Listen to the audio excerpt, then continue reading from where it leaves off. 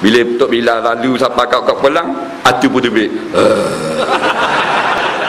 tok bila pun dak bang dah negak terus tahu rumah Bang, orang panggil kita omong kita tengok. Tok Imam kita tengok. Mana Tok Bila?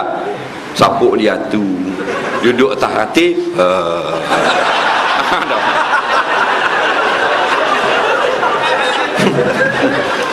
Leh. Oh tu jarang dah ada. Nak ha, jarang dah ada. Atu raja segala hantu ning dalam kocek kita. Namanya ringgit namanya RM dolar namanya PT atu lebih berbahaya daripada atu pocong atu kubo atu laswe dracula atu kopek. Atu jarang ada dah.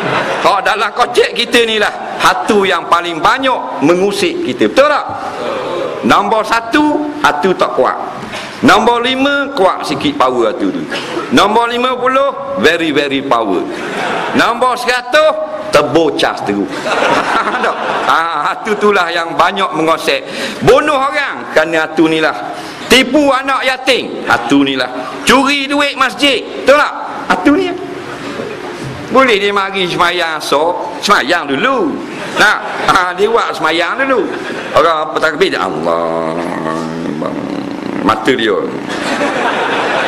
Mata. Nak tengok kaki kalau orang balik dia buat lepak dia buat bilang tasbih nyanda di tiang. Allah Allah Allah Allah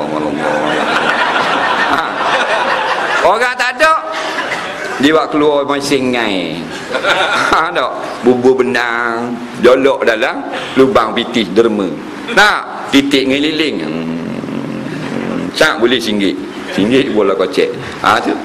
Cari duit nak banyak merosokkan kita. Jadi inilah antara mawanik yang paling hebat menyebabkan kita mengalami kesukaran payahnya mengamalkan Islam dengan sebab atu duit